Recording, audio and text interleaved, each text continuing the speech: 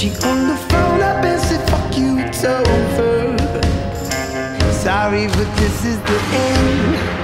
I said, don't trip, it was just a harmless sleepover. See, we was just making friends. She said, the what you do?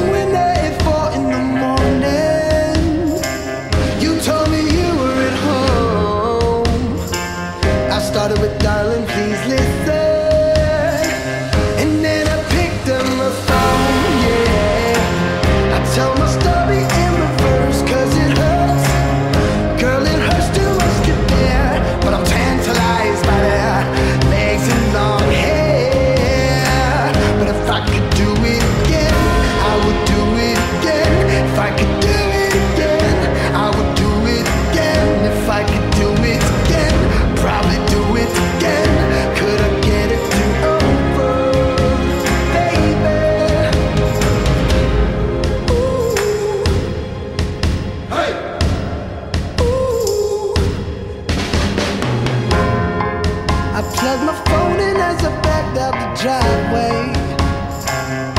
Then I started my car, slipped out the door.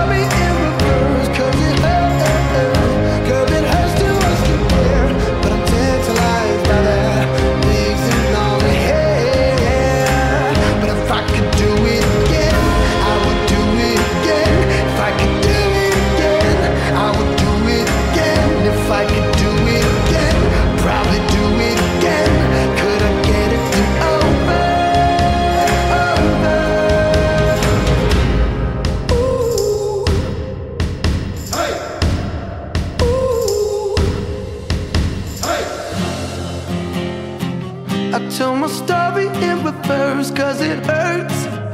Girl, it hurts too much to bear But I'm tantalized by their legs and long hair.